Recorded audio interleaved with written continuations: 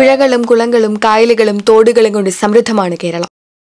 അഞ്ഞൂറ്റി എൺപത് കിലോമീറ്റർ വ്യാപിച്ചു കിടക്കുന്ന തീരപ്രദേശവും നമുക്ക് സ്വന്തം. അതുകൊണ്ട് തന്നെ പത്രങ്ങളിൽ കാണുന്ന പതിവ് വാർത്തയാണ് മുങ്ങിമരണം. മുങ്ങിത്താഴുന്ന ഒരാളെ രക്ഷപ്പെടുത്തിയാൽ ഉടൻ ചെയ്യേണ്ട പ്രഥമ ശുശ്രൂഷ എന്താണ്? മുങ്ങിത്താഴുന്ന ഒരാളെ രക്ഷപ്പെടുത്തി കരയിൽ എത്തിച്ചാൽ നമ്മൾ ശരിക്കും ചെയ്യേണ്ടത് എന്താണ്?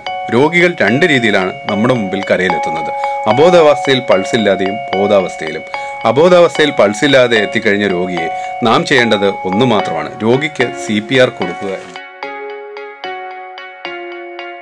ഇനി ബോധാവസ്ഥയിലുള്ള രോഗിയാണെങ്കിൽ പോലും നാം ചെയ്യേണ്ടത് വയറ് പിടിച്ചമർത്തുക എന്നുള്ളതല്ല. നാം രോഗിയെ ഒരു വശത്തേക്ക് ചെരിച്ചു കിടത്തിയിട്ട് രോഗിയുടെ തന്നെ ഉമിനീരോ രോഗിയുടെ ഛർദിയോ അല്ലെങ്കിൽ കുടിച്ച വെള്ളമോ ശ്വാസകോശത്തിലോട്ട് പോകാതെ രോഗിയെ ഒരു വശത്തോട്ട് ചെരിച്ച് തല ഉയർത്തിപ്പിടിച്ച് നിർത്തുക എന്നുള്ളതാണ്. ഇതിനിടെ നാം ആരെ കൊണ്ടോ അല്ലെങ്കിൽ നമ്മൾ തന്നെ എമർജൻസി ഹെൽപ്പ് വിളിച്ചിരിക്കണം. ഹോസ്പിറ്റലിൽ രോഗിയെ എത്തിക്കാൻ വേണ്ടിയിട്ട്.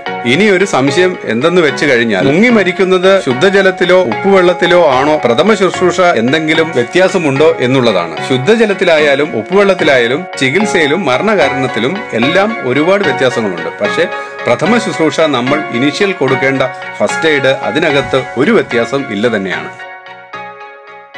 കേരളത്തിൽ ഒരു ലക്ഷത്തിൽ നാലു പേർ വീതം ഓരോ വർഷത്തിലും മുങ്ങി മരിക്കുന്നുണ്ട് എന്നതാണ് കണക്കുകൾ. അതായത് റോഡ് ട്രാഫിക് ആക്സിഡന്റുകൾ കഴിഞ്ഞാൽ ഏറ്റവും കൂടുതൽ അപകട മരണം ജലാശയങ്ങൾ വഴിയാണ്. അതുകൊണ്ട് തന്നെ ഡോക്ടർ പറഞ്ഞ ഇക്കാര്യങ്ങൾ ഓർത്തുവെക്കുക